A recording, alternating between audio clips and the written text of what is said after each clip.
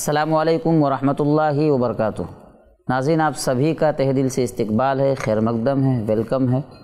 एक नए जज्बे के साथ, एक नई फ़िक्र के साथ हम यहाँ जमा हैं, ताकि ये कोशिश हो कि हमारे समाज में और ख़ास तौर से मुसलमानों में जो इख्तलाफात हैं, उनका ख़ात्मा हो सके और आपस में इत्तेहाद, इत्तेफाक हो और मोहब्बत के साथ वो ज़िंदगी गुजार सकें। आज के जो हमारे मेहमान हैं, हमारे इस ख़ास प्रोग्राम में, वो हैं शेख रज़ाउल्ला अब्दुल करीम मदनी साहब जो मशहूर आलिम दीन हैं आइए हम सब मिलकर शेख का इस्तकबाल करते हैं और इस सिलसिले को आगे बढ़ाते हैं।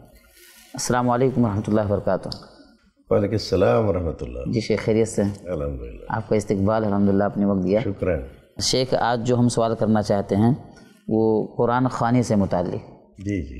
कि हम ये देखते हैं कि एक बड़ा तबका है जो कुरान ख़ानी कराता है और बाज़ लोग इनकार करते हैं या उनके यहाँ नहीं है। तो सही क्या है? ये क्या सूरत हाल है? भाई कुरान खानी का कौन इनकार कर सकता है? कुरान खानी के तो सभी कायल हैं और करना चाहिए। मतलब कुरान खानी का मतलब हो पहले ये रहा है कि हमने कुरान खानी छोड़ दी है। अब हम सिर्फ़ तकरीबात मौक़े या किसी आदमी के मरने पर कुरान खानी करते हैं। जी। जबकि हुक्म हमें क्या था? हुक्म ये था कि हम ज़्यादा से ज़्यादा कुरान पढ़ा करें। कुरान खानी का मतलब कुरान पढ़ना। नहीं तो शेख वो आम तिलावत उससे तो कोई मना नहीं करता। यहाँ कुरान खानी वो जो ख़ास पस मंज़र में जिससे मना करते हैं वो भी आपको बताते हैं। पहले हमारी बात आप सुन लें। जी। कुरान खानी कुरान पढ़ना बुनियादी तौर पर ये गैर इख्तलाफी मसला है। इसमें कोई इख्तलाफ नहीं है। कुरान पढ़ना चाहिए ज़्यादा से ज़्यादा पढ़ना चाहिए रोज़ाना पढ़ना चाहिए सुबह शाम पढ़ना चाहिए। इसमें कोई इख्तलाफ है? कोई इख्तलाफ नहीं है। तो आप इख्तलाफ वाला मसला तो छेड़ते हैं जो गैर इख्तलाफी मसला है उसको सुनने से क्यों आपको इख्तलाफ है? ये गैर इख्तलाफी मसला इसलिए जमा हुए हैं ताकि जो इख्तलाफ है उसको कम करें। हम लोग किस लिए जमा हुए हैं उस मसले को हम तभी अच्छी तरह समझ पाएँगे जो हमारी असल सुन्नत थी। जो हुक्म था कुरान का, हदीस का, अइम्मा का, इमामान दीन का, पहले उसको तो समझ लें हम। उसको समझते नहीं, गैर इख्तलाफी जो मसला है, उस पर बात करते नहीं। अगर गैर इख्तलाफी मसले को हम रिवाज दें अपने समाज में तो इख्तलाफी मसला तो अपने आप ख़त्म हो जाएगा। अच्छा शेख, ये बात मैं कहूँगा कि हमारे यहाँ जो इख्तलाफात हैं जिन मसाइल में वो बहुत चंद हैं थोड़े हैं। और जो इत्तेफाक हैं वो बहुत सारे हैं। लेकिन इत्तेफाक की बात नहीं होती आमतौर पर इख्तलाफ यही मैं आपसे कह रहा हूँ। आप इख्तलाफ की बात कर रहे हैं मैं इत्तेफाक की बात कर रहा हूँ। जिस मसले में इत्तेफाक है सबके नज़दीक तमाम फ़िरक़ों के नज़दीक तमाम जमातों के नज़दीक मैं उनसे दरख्वास्त करता हूँ भाइयों अजीज़ों कुरान शरीफ को ज़्यादा से ज़्यादा पढ़ना शुरू करो। अगर आप रोज़ पढ़ोगे, सुबह शाम पढ़ोगे, कुरान पढ़ना अपनी आदत बना लोगे तो आपको फिर रस्म के तौर पर कुरान पढ़ने की ज़रूरत पेश नहीं आएगी। रस्म के तौर पर कुरान पढ़ने की ज़रूरत कब पेश आती है? जब हमने उसको छोड़ दिया हो। कुरान में अल्लाह रब्बुल इज़्ज़त फरमाता है हमारे नबी क़यामत के दिन अल्लाह के दरबार में खड़े होकर अपनी कौम की शिकायत करेंगे उनके ख़िलाफ़ मुकदमा पेश करेंगे। नबी खड़े हो जाएँ किसी नबी उम्मत के खिलाफ अल्लाह के दरबार में मुकदमा दायर कर रहे हैं। बहुत बड़ी बात। या रब्बी इन कौमी इतखजू हाजल कुरान महजूरा। ऐ मेरे रब ये मेरी कौम के लोग हैं। इन्होंने कुरान पढ़ना छोड़ दिया था। इतखजू हाजल कुरान महजूरा, महजूरन हजर से, भुला देने से, उसको फरामोश कर देने से, नज़रअंदाज करने से, पसे पुश डाल देने से। रसूल अकरम सल्लल्लाहु अलैहि वसल्लम क़यामत के दिन अल्लाह के दरबार में अगर हमारी शिकायत करें तो मुकदमे में कौन जीतेगा? रसूल के मुकाबले में कोई और जीत सकता है? उम्मत का कोई फ़र्द वहाँ पर रसूल के मुकाबले में खड़े होकर इसका जवाब दे सकता है कि ये बात सही नहीं है दुरुस्त नहीं है हम तो कुरान खानी करते थे? तो कुरान खानी में से कुरान ही पढ़ने की तो बात हो रही है। कसरत के साथ कई लोग जमा होते हैं भाई। साहब कुरान खानी रस्म है। हम रस्म के खिलाफ हैं। आप उसको रस्म मत बनाओ। मतलब कोई चीज़ रस्म कब बनती है कैसे बनती है? तभी बनती है जब असल छूट जाती है उसकी जगह पर एक नई चीज़ सवाब जानकर और उस पर लेबल शरीयत का लगाकर आप चालू कर देते हैं। ये रस्म है। रस्म का हुक्म नहीं दिया गया हमें।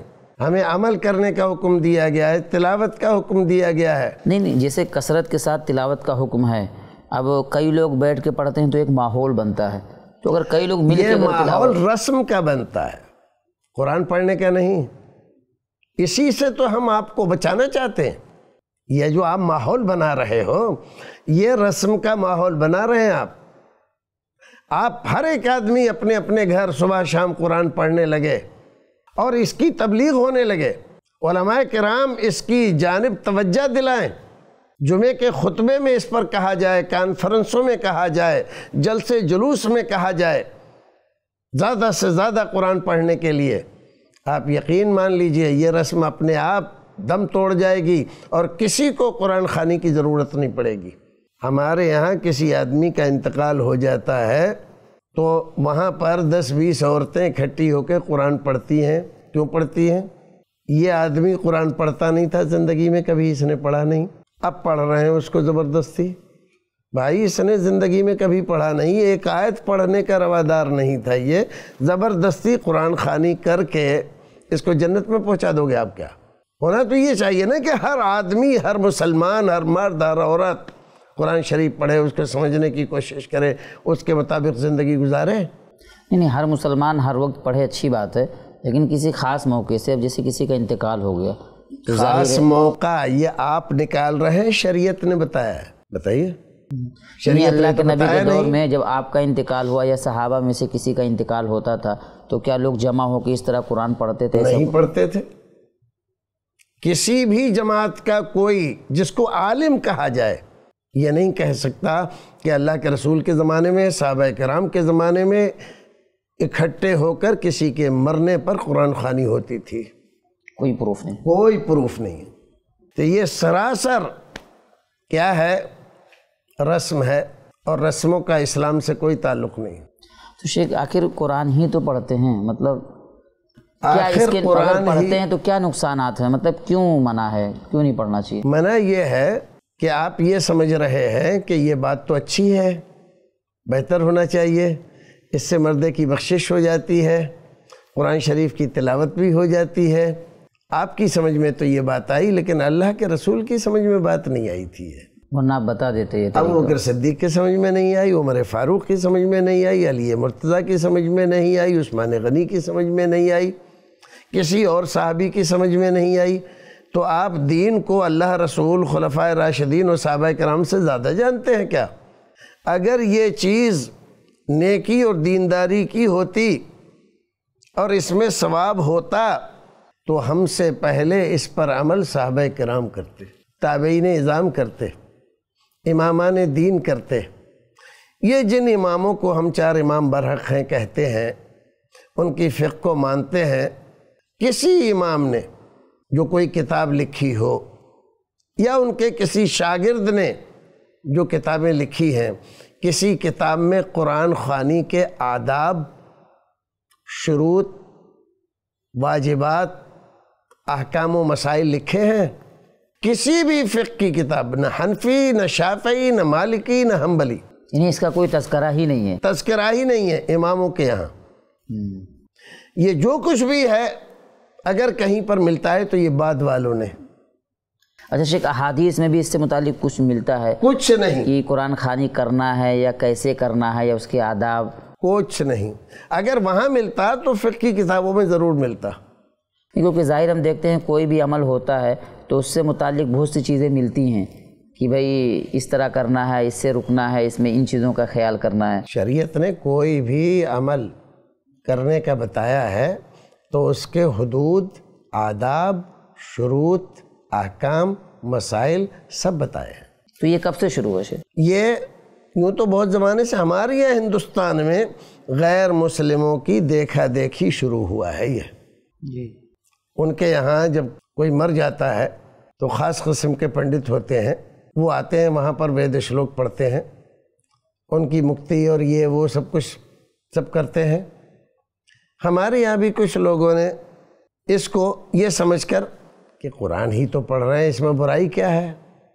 तो इससे सवाब ही होगा। वो असल दीन के जानने वाले नहीं थे। आप देखेंगे कि शहरों में आज भी वो कैफियत नहीं है जो देहातों में हमारे यहाँ है। क्यों? शहर के लोग जानकार हैं, पढ़े लिखे हैं, मसले को समझने की कोशिश भी करते हैं।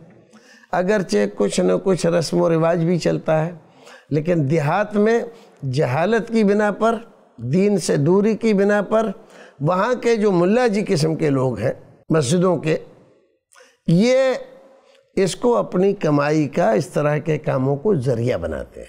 अच्छा इसमें पैसा भी लेते हैं कुरान पैसा भी लेते हैं और तीस दिन पढ़वाना चालीस दिन पढ़वाना उसका तय कर लेते हैं कि इतना इतना। अच्छा शेख ये चीज़ मुझे समझ में नहीं आती है कि मतलब तीस दिन या चालीस दिन ये क्या है? मतलब आदमी के अपने ताकत के ऊपर है विसात के ऊपर है कितना उसको फुर्सत है कितनी ताकत है कितना पढ़ सकता है। हर आदमी अपने अपने हिसाब से पढ़ ले। कोई ज़्यादा पढ़ सकता है कोई कम पढ़ सकता है। लेकिन ये फिक्स करना नहीं का तीस है नहीं ना हम पढ़े लिखे नहीं हमारे बच्चे पढ़े लिखे नहीं तो हम कैसे पढ़ें? तो अच्छा समझा कि मस्जिद के इमाम साहब को मस्जिद के मौजिन साहब को या कुछ लोग ऐसे ही दाढ़ी बढ़ाकर मौलवी बन गए हैं उन लोगों को ये रोज़गार अच्छा मिल गया कि भी फलां साहब का इंतकाल हो गया लिहाजा भाई कुरान पढ़वाना है कि ठीक है हो जाएगा किस वक्त। शाम को सुबह को दोपहर में वो वक्त अपना कहते हैं भाई इस वक्त वक्त है मैं इस वक्त पढ़ सकता हूँ। तो वो आते हैं रोज़ाना एक पारा दो पारा पढ़ के वो आके हैं। पढ़ ले कोई दिक्कत नहीं है लेकिन ये जो फिक्स करते नहीं चालीस दिन पढ़ना है तीस दिन पढ़ना वो है। तो ऐसे ही क्या नहीं वो दो दिन पढ़ के चला जाए तो पूरे पैसे दे दें हम उसको। तो दिन में कुरान ख़त्म कर दिया दस दिन में कर दिया क्या दिक्कत? है क्या दिक्कत है? तो वो एक एक साथ सात सात आठ आठ सफ़े इधर से उधर करता रहेगा। आएगा कुछ मेहनत करेगा तब पैसे देते हुए हमें भी अच्छा लगेगा। लेकिन शेख जैसे अगर किसी का इंतकाल हुआ तो वहाँ मतलब इस नीयत से पढ़ना कि उसको सवाब मिलेगा या जिसको बख्शवाना कहते हैं वो चीज़ तो समझ में आती है कि ये मुनासिब नहीं है। लेकिन जैसे कोई नया घर ले रहा है या किसी ने नई दुकान ली है तो वहाँ अगर बरकत के लिए पढ़वा रहा है तो इसमें क्या मुजायका है? भाई ज़ाहिर है जैसे हमारा घर है अब हमारे घर में जितने लोग जमा होकर पढ़ेंगे तो मतलब हमारे घर में वो नेक अमल हो रहा है।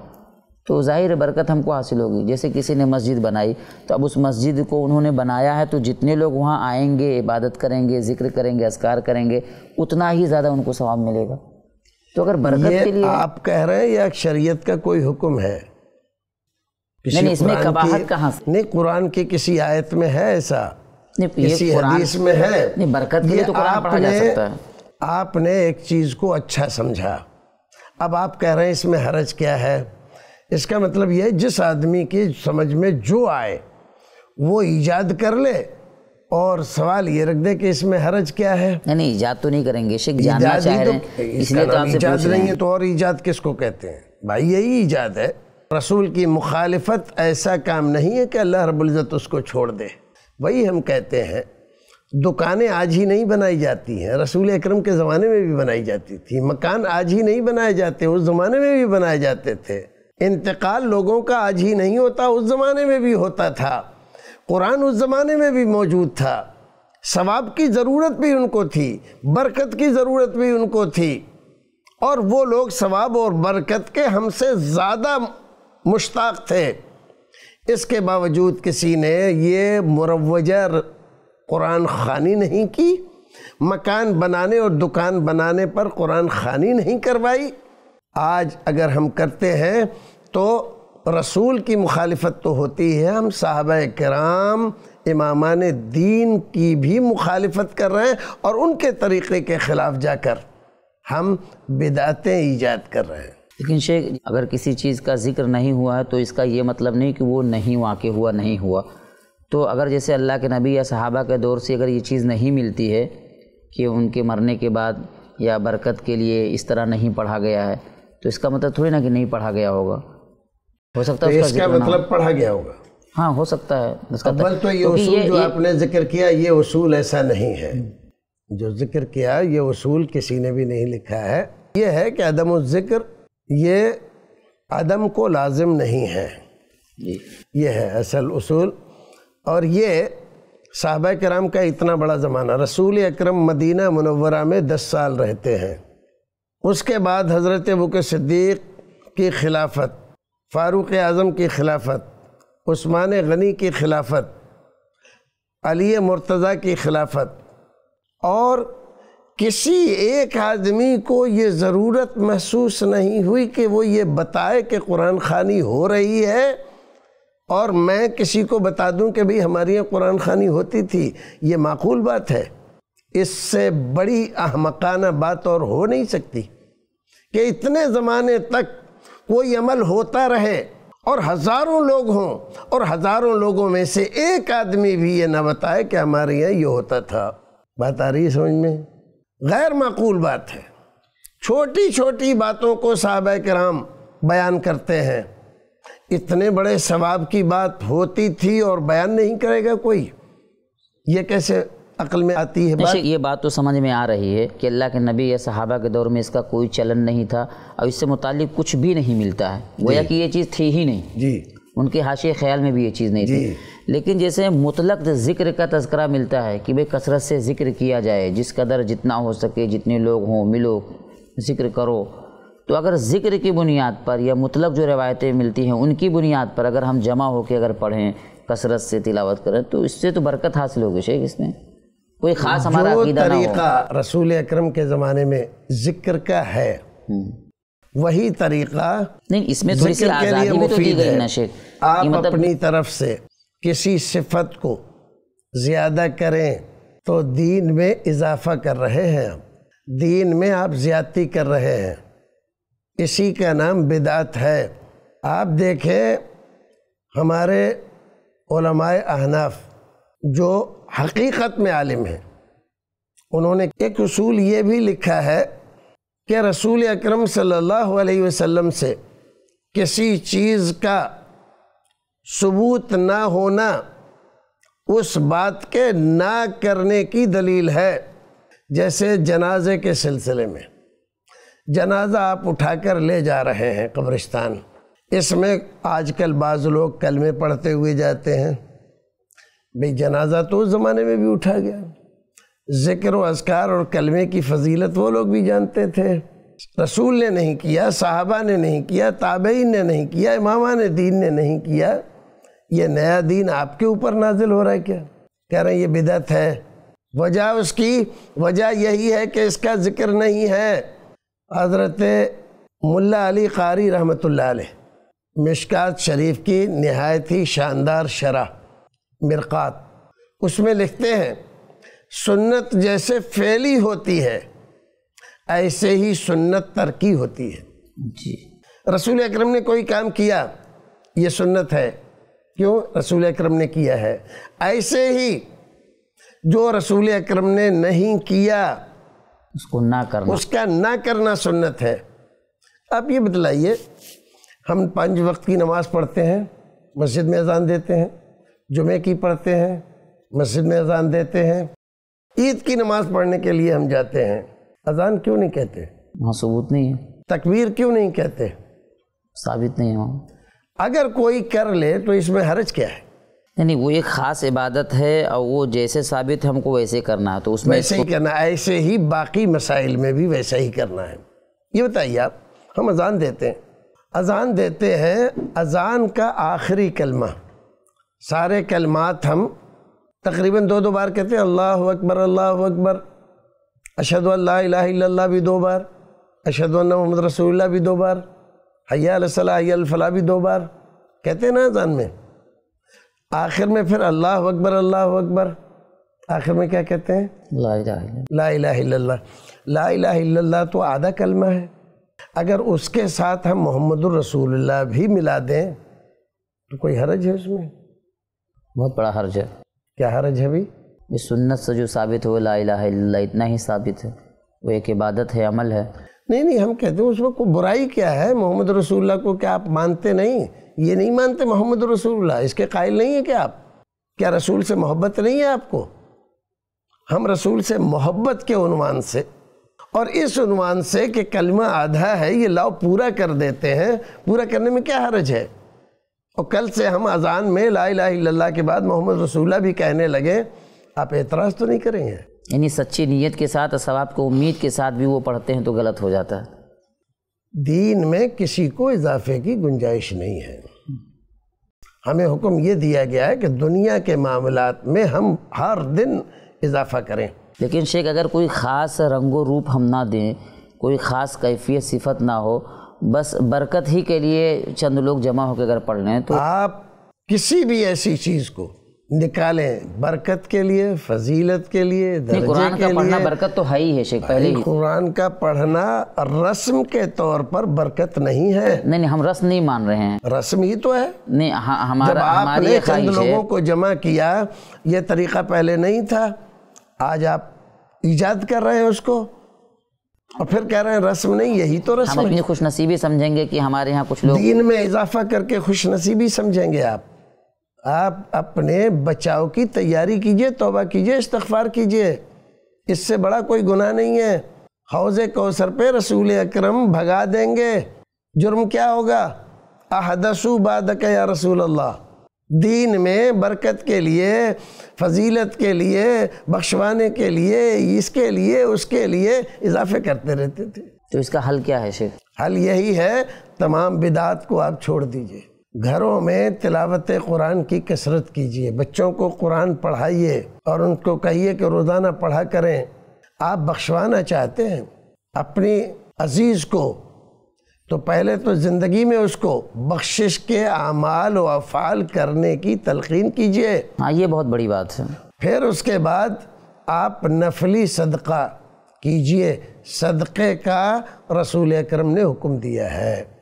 सदक़े का ईसाल सवाब का सबसे बेहतर ज़रिया है। किसी रस्म के तहत नहीं बग़ैर रस्म के। सदका कीजिए। यानी सदका पहुँचाने के जो मसनून तरीके हैं। पहुंचाना आपके ज़िम्मे नहीं आप नहीं पहुँचा सकते। वो सारा काम अल्लाह रब्बुल इज़्ज़त का है। नहीं करना अपने तौर पर। सदके तौर पर कुछ करना चाहते करना हैं। है। अब आपने कुरान खानी करवाई और आपने बख्शवा दिया। क्या बख्शिश हो गई? आपको अच्छा क्या ये वर्ड लफ्ज इस्तेमाल किया बख्शुआना। हाँ मतलब यही गलत है? पढ़कर बख्शुआ दिए। हाँ। तो यही गलत है और यही बेहरमती की बात है। अव्वल तो आपने कुरान शरीफ पढ़ा। ये कुरान शरीफ किस नीयत से कैसे कैसे आपने पढ़ा है ये तो आप जानते हैं अल्लाह जानता है। मैं तो जानता नहीं। सही। ठीक है ना? अब आपकी नीयत की बुनियाद पर अल्लाह रब्बुल इज़्ज़त कबूल करे और चाहे तो कबूल ना करे। चाहे तो सवाब दे चाहे तो ना दे। अब जब सवाब आपको मिला ही नहीं मान लीजिए तो आप दूसरे को क्या दे देंगे? आपकी झोली खुद खाली है दूसरे को क्या दे देंगे आप? सही। दूसरी बात ये जो सवाब है ये आपकी मिल्कियत है या अल्लाह का हक है? सही। अगर अल्लाह का हक है तो दूसरे के हक में दूसरे की मिल्कियत में आप तसरुफ कैसे कर सकते हैं? यानी आदमी दुआ कर सकता है सदका कर सकता है वो कबूल करना आप दुआ करें आप सदका मालिया करें उनकी तरफ़ से मस्जिद बनवाएँ मदरसा बनवाएँ सराय बनवाएँ कुआँ खुदवाएँ और पुल बनवाएँ आप उनके लिए हाँ दुआ करें कि अल्लाह उनके हक में कबूल कर ले। उनके लिए हज करवा दें और आप उनके बच्चों की तालीम और तरबियत का इंतज़ाम कर दें नीयत ये रखें कि अल्लाह रब्बुल इज़्ज़त इसका सवाब फलां को पहुँचाए। इतने सारे तरीक़े मौजूद हैं हलाल हैं जायज़ हैं किसी का इसमें इख्तलाफ नहीं है। तो जिसमें किसी का इख्तलाफ नहीं है वो छोड़कर ऐसा काम आप क्यों करते हैं जिसमें हाँ अच्छा शेख ये बहुत बड़ी बात है कि जैसे मतलब किसी को अगर हम सवाब पहुंचवाना ही चाहते हैं तो सवाब के लिए जो जायज़ रास्ते हैं बहुत सारे तरीके बताए गए हैं। उसमें तो कोई शक ही नहीं है। तो उसको करते हैं तो उम्मीद है। बाकी जिसमें शक है या कन्फ्यूज़न है तो उसमें पढ़ने की ज़रूरत ही क्या है? अगर ये ऑप्शन ना हो जायज़ वाला तो वहाँ आदमी पढ़े तो बात समझ में आती है। जी जजाकल्ला खैर शेख बहुत बहुत शुक्रिया।